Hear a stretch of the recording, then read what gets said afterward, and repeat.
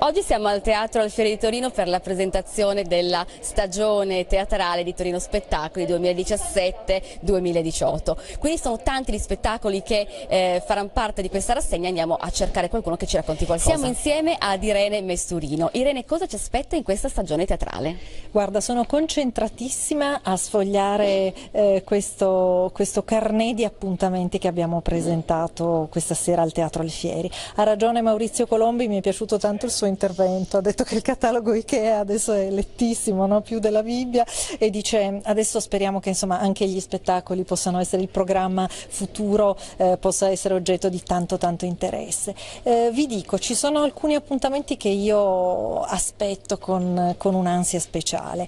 Eh, la Bisbetica Domatas, la regia eh, sapiente di Enrico Fasella, eh, Miriam Mesturino sarà la nostra Bisbetica Domata. Sempre stando in ambito di grande prosa, che è un cartellone che io amo in modo particolare, eh, arriva Massimo D'Apporto con un borghese piccolo piccolo.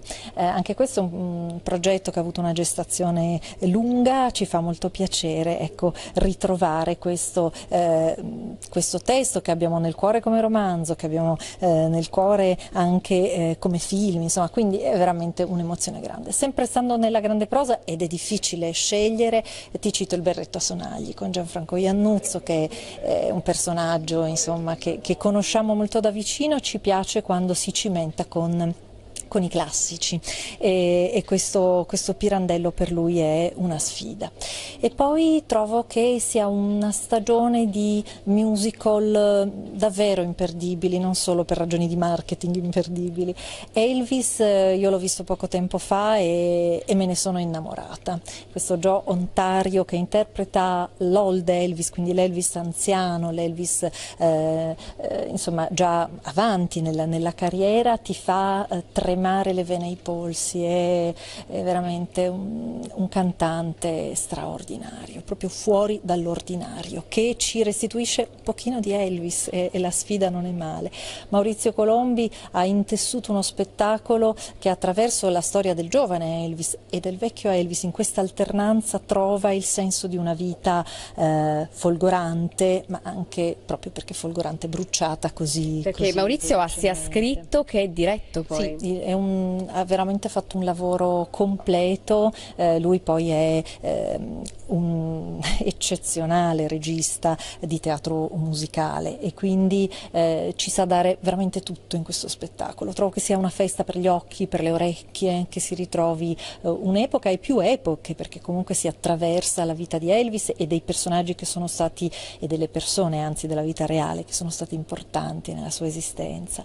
Sempre sul fronte dei grandi musical musical e torno a un, a un altro Colombi. è il suo anno, eh? Sì, è, devo dire regista del, della regina, insomma, eh, di ghiaccio con, con, Lorella Cuccarini e questo sarà un altro appuntamento con un allestimento eh, fantastico perché Viola Produzioni sappiamo come lavora, abbiamo ospitato Rapunzel, insomma, eh, Sister Act, cioè abbiamo avuto la possibilità di, di lavorare con loro eh, alla grande e poi Spamalot perché questi, questi cavalieri... Mi incuriosisce eh, questo... Sì, mi incuriosisce moltissimo e questo è un progetto che sta nascendo, l'hanno appena presentato in conferenza stampa, eh, Elio a me piace tantissimo, l'idea che l'adattamento e la traduzione eh, siano di, di Rocco Tanica, insomma è, è una garanzia eh, in più. Per dirti anche, beh io ti parlerei tutta la sera, a livello di festival di cultura classica eh, ti cito senz'altro questo Rudens,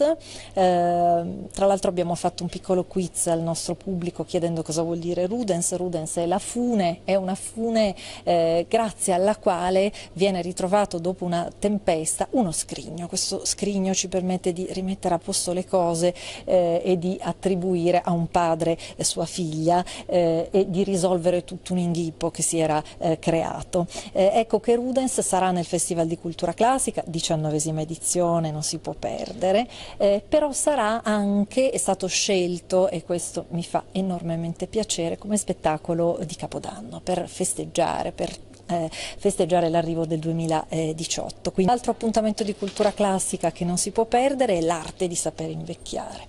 Eh, Piero Nuti presentando questo suo lavoro tratto dal De Senectute di Cicerone ma che assolutamente noioso non è, piacevolissimo perché lui è andato anche a spiluzzicare. Sì, perché a volte uno pensa alla cultura classica, sì. pensa che noi vado a teatro mi hanno... no diciamolo. Eh, hai ragione, si può invece andare a vedere della ottima cultura classica, sia andando a vedere i grandi comici come il Plauto che abbiamo citato prima, Sodato Fanfarone, l'Imbroglione, via scorrendo, sia andando anche a vedere delle orazioni, dei processi, dei testi che non nascono sotto il versante della comicità stretta, ma che hanno un bel ritmo e che contaminati nel senso migliore dalla contemporaneità eh, ci sono vicini, quindi hanno qualcosa da raccontarci e credo che un grande vecchio del teatro come Piero Piero Nuti eh, possa essere la guida migliore per parlarci della vecchiaia che ha anche tante cose positive che non ci deve spaventare. Abbiamo dei link per eh, far sì che i nostri telespettatori possano avere tutte le informazioni sui vostri spettacoli. Torino Spettacoli potete scegliere se.it o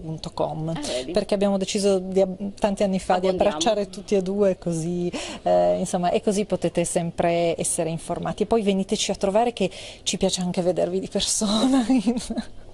Irene, grazie. Grazie a voi sempre. Oggi ti abbiamo visto in una veste nuova, il presentatore di questa grande stagione. Sì, sì, è stato un piacere. Io in realtà ho iniziato col teatro, col liceo Germana Erba ed è bello poter chiudere, questo è il mio quinto anno di liceo, quindi poter chiudere questa esperienza con una bellissima presentazione come una presentazione ad Alfieri. Quindi quest'anno hai veramente gli esami? Sì, ho la maturità quest'anno, sì. Ce la fai a conciliare gli impegni lavorativi, lo studio? Sì, sì, sono grazie anche a mio padre che mi ha sostenuto durante questi cinque anni e tanta testardaggine, comunque sì, ce l'ho fatta, conciliato e sono riuscito a prendere bei voti e in realtà la disciplina che mi ha insegnato il mondo del lavoro mi ha aiutato molto anche nel mondo dello studio, quindi sì, ce l'ho fatta. Da quanto tempo è che hai capito che questa era la tua strada? Fin da quando ero piccolissimo, in realtà da quando avevo bah, due anni, però se ne volete sapere di più, se posso, io ho appena scritto un libro con Mondadori Electa e uscirà a settembre, quindi se vi interessa sapere un po' più su quello che è la mia storia, anche se in realtà è un romanzo autobiografico, quindi non è proprio la mia storia, ma vi fa capire un po' i messaggi che mi hanno aiutato a crescere, in quel libro c'è tutto. Quindi attendiamo settembre per sì. vedere questo grande libro. Grazie tante. Grazie mille a voi, ciao. Dopo il successo dell'anno scorso tornate di nuovo al Teatro Gioiello? Sì, perché non hanno capito lo spettacolo, allora ci hanno richiesto di rifarlo così la gente ritorna e, e cerca capisce. di capirlo e Poi c'è un finale molto, no, uguale, Alterna cioè, cambia, eh, venite, venite, venite, si ride, si ride, quello è sicuro, si ride. Si ride, cioè, eh, io... sempre così, si ride e il nostro pubblico spero che nonostante sia venuto l'anno scorso torni anche quest'anno. Ah sì, di solito ritornano perché, perché, portano gli altri. Quest'anno ci sono delle novità. Sì, è vero, ci sono già il cast, le cose, non ci siamo noi, ci sono altri, c'è un altro titolo. Ti sposo Mirovino che già... Eh? Già... è lui. Io mi rovino. E lui si rovina. E lui si sposa. Grazie ragazzi. Antonello, anche tu se fai parte di questa rassegna il prossimo anno a teatro chi me lo doveva dire? Quando Mestrino mi ha chiamato, dove lo vuoi fare una data all'Alfieri? Ma l'Alfieri è quello grosso da 1400 posti. Sì, io ci credo, allora pure io e il 29 novembre siamo qua. E cosa ci porti di bello? Lo spettacolo si chiama Master Cost, lo spettacolo è servito, Giampiero Perone, che è il principe cacca, fa il cuoco francese e mm, presenta al pubblico una serie di portate tutte comiche. Io farò tutte le portate dall'antipasto al dolce. Farò tre antipasti, tre primi, tre secondi e il dolce finale. E naturalmente ogni numero è eh, cantato, ballato, sempre comico naturalmente, per due ore con quattro ballerine e una soubrette. Wow, bellissimo! Da non perdere assolutamente. Bene, allora ti aspettiamo a Torino per la prossima stagione. Dopo il grande successo di Tok Tok, anche tu sarai presente in questa rassegna teatrale con un altro bello spettacolo. Sì, ebbene sì, sono molto contento naturalmente. Si ritorna con un nuovo spettacolo leggero, brillante, francese, e un modo di nuovo per stare insieme, condividere delle serate divertenti. Dopo Tok Tok, il titolo dello spettacolo spettacolo sarà che cosa hai fatto quando eravamo al buio? Bene, venite e scoprirete che cosa ho fatto. È una bella domanda. Sì, e il cast è con Giorgio Caprile, Miriam Mesturino e me, quindi Alessandro Marrapoti. È una bella domanda, nel senso che il trio, il cast di noi tre attori, i nostri ruoli sono marito Giorgio Caprile, moglie Miriam Mesturino e io sarei il che cosa ho fatto quando eravamo rimasti al buio e venite a trovarci perché sarà divertente scoprirlo. Vi aspettiamo dal 9 al 13 maggio al Teatro Gioiello.